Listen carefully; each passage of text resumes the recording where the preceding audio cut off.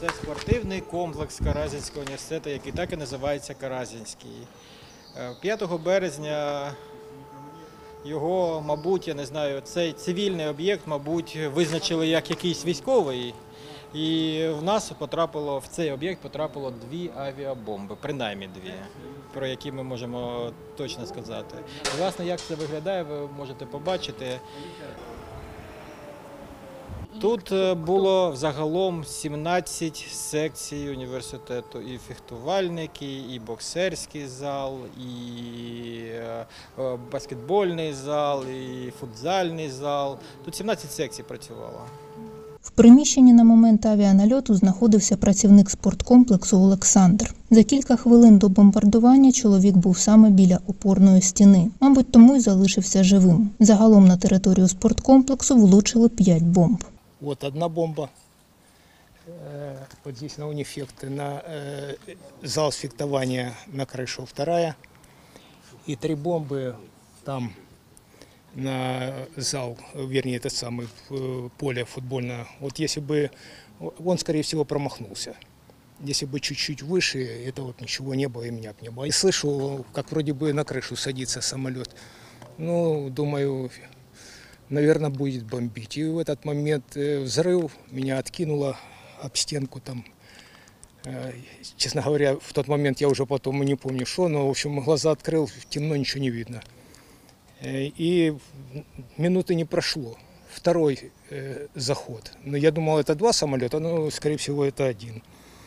И э, была серия взрывов. Кілька уламків, кожен з яких легко міг вбити його тієї ночі, чоловік залишив на згадку. Один із найстаріших університетів Східної Європи втратив не тільки спортивний комплекс. Повністю знищена будівля, в якій знаходилась Каразинська школа бізнесу та економічний факультет. Тут навчалися близько трьох тисяч студентів. Постраждала потужно, бо ці кадри, як горить ця, будівля, вона є в промові президента до Конгресу США. Це такий символ руйнування університетів України. Серйозних руйнувань зазнав також корпус фізико-технічного факультету у П'ятихатках, де науковці та студенти займалися ядерною та медичною фізикою. Вперше окупанти вдарили по учбовому закладу 25 лютого, після чого розпочалася пожежа.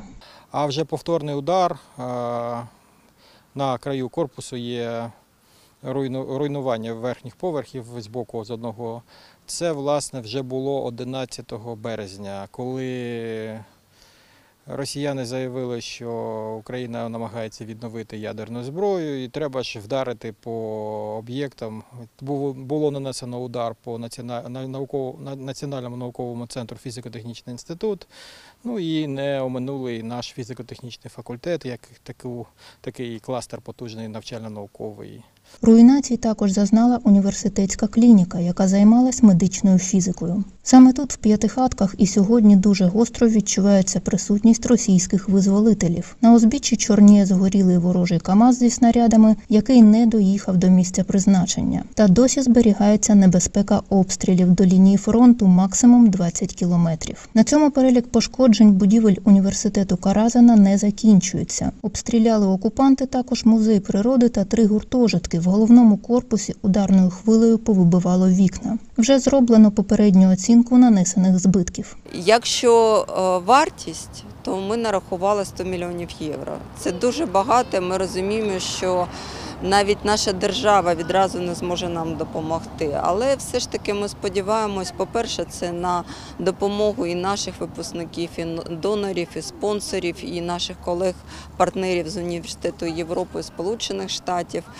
Ну, головне, є два корпуси. Є е, з чого починати. Головне, щоб закінчилась війна, настав мір, і ми всіх чекаємо в наших основних корпусах. Будь ласка, ми будемо працювати. Навчальний рік завершився. На шести факультетах пройшли захисти магістерських дипломних робіт. Ми розуміємо, що кожен повинен робити те, що він може на своєму фронті. І студенти повинні вчитися, тому що вони розуміють, що саме їм відновлювати Україну, саме їм жити в- нашій оновленій Україні.